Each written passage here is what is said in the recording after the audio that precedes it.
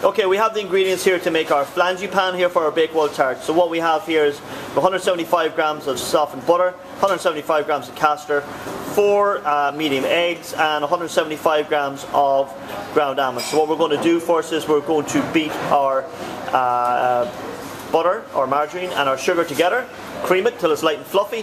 Then we'll add our eggs one by one, and finally we'll incorporate our almonds to make our pan for our Bakewell tart.